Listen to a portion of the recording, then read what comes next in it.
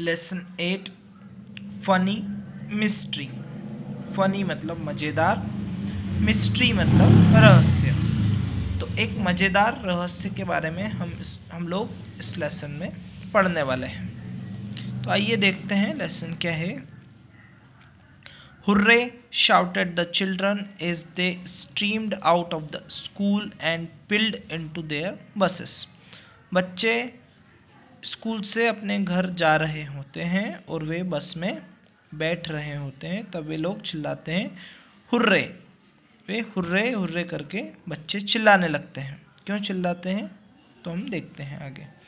It was the last day of school before summer vacations यानी कि summer vacations गर्मी की छुट्टियों से ठीक पहले उनका लास्ट डे होता है मतलब आखिरी दिन होता है स्कूल में तो आखिरी दिन वे स्कूल से घर जाते समय हुर्रे हुर्रे करके चिल्लाते हैं। Freedom for the next two months, happy holidays happy holidays. यानी कि अगले दो महीनों तक उन्हें फ्रीडम मिलने वाला है, आज़ादी मिलने वाली है, और एक दूसरे को, एक दूसरे को सारे बच्चे हैप्पी हॉलीडेज विश भी करते हैं। They shouted as the bus started moving जैसे ही बस चलना शुरू कर देती है स्कूल से, और वे एक दूसरों को विश करते हैं हैप्पी हॉलीडेज और शाउटिंग भी करते हैं, हुर्रे और इस तरह से वे इन्जॉय करने लगते हैं। क्योंकि लास्ट डे उनका आखिरी दिन होता है स्कूल में, ठीक है? Sumit flung his bag on his bed and rushed into the kitchen what's for lunch mummy Sumit जैसे ही घर पहुँचता है, अपना बैग वो सीधा बेड पे डालकर सीधा सा वो किचन में जाता है सीधे सीधे और मम्मी से पूछता है, मम्मी, आज लंच में क्या है? Your favourite rajma rice said mummy. Mummy बोलती है कि, अरे बेटा, तेरा फेवरेट आज राजमा और राइस मैंने बनाया है। So what do you want to do today play play play said Sumit. Mummy पूछती है कि, अरे बेटा, आज तुम क्या करने वाले हो? तो सुमित बोलता है कि आज तो मैं सिर्फ़ प्ले प्ले प्ले मतलब मैं सिर्फ़ खेलूँगा खेलूँगा और मैं खेलूँगा। आज मैं इसके अलावा और कुछ भी नहीं करूँगा। In the evening Sumit and his friends Shashank Mona Aditi met at their favourite place the park शाम के समय सुमित और उसका फ्रेंड शशांक मोना अदिति ये सब लोग उनके फेवरेट प्लेस पार्क में मिलते हैं। What shall we do this summer asked Shashank Shashank बोलता है कि, अरे, इस गर्मी की छुट्टी में हम लोग क्या करने वाले हैं?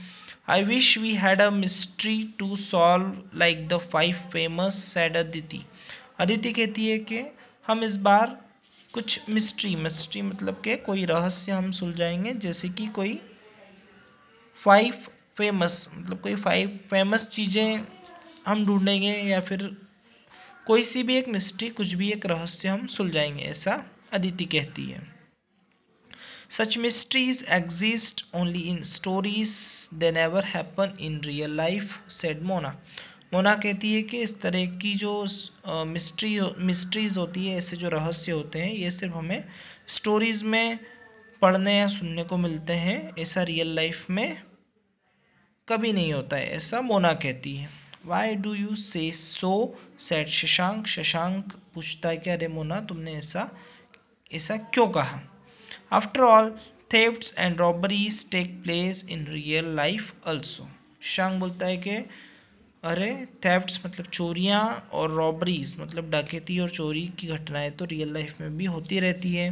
There are real detectives to solve such cases we have a detective agency next door तो बहुत सारे ऐसे डिटेक्टिव्स केस बहुत सारे ऐसे रियल केस हमें अपने आसपास देखने और सुनने को मिलते हैं। तो हम अपने आसपास भी इस तरह के कोई भी केस हम देख सकते हैं या हम उसे सुलझा सकते हैं।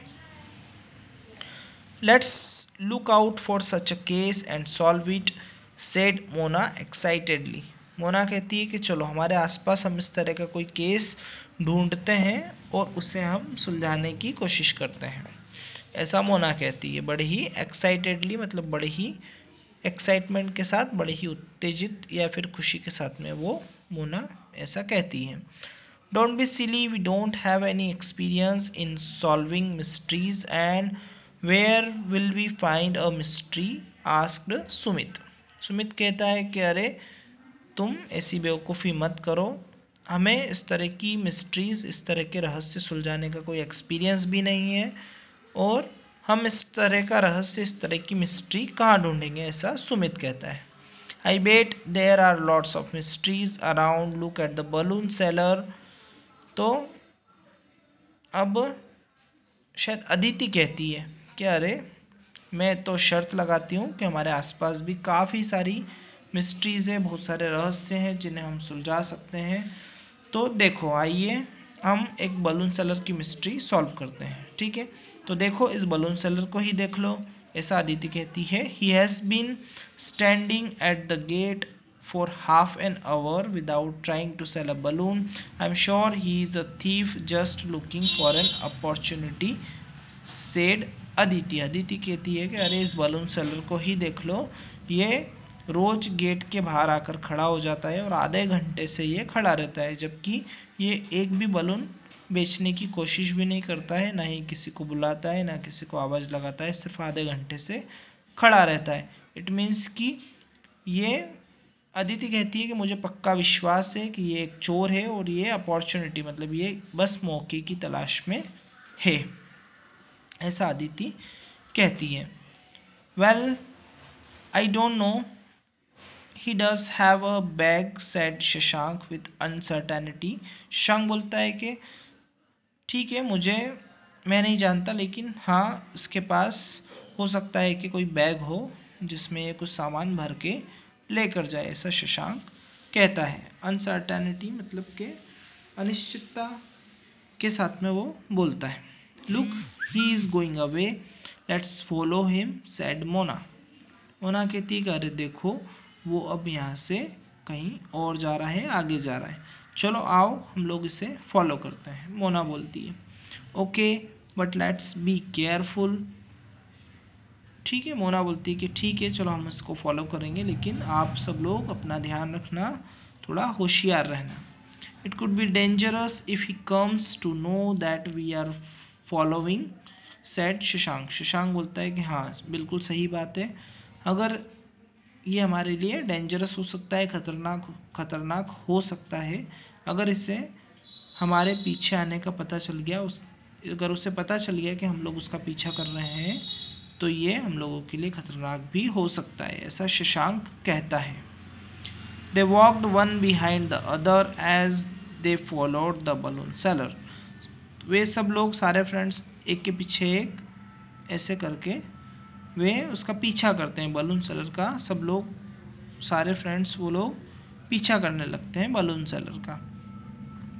They ran for cover and hide behind a car or a cart whenever the man turn his head जब भी, अब वो एक सारे बच्चे, सारे फ्रेंड्स छुपते छुपाते, यानी कि कभी वो कार के पीछे छुपते हैं, कभी किसी कार्ट के, बैलगाड़ी या थैला गाड़ी के पीछे छुपते छुपाते, उसके पीछे पीछे जाते हैं बलून सेलर के। जब भी वो अपना फेस टर्न करता है अपना, जब भी वो टर्न लेता है, इधर उधर मुड़कर देखता है तो वे तुरंत ही कहीं ना कहीं बच्चे छुप जाते हैं। रिमेनिंग स्टोरी हम देखेंगे नेक्स्ट पार्ट में। Thank you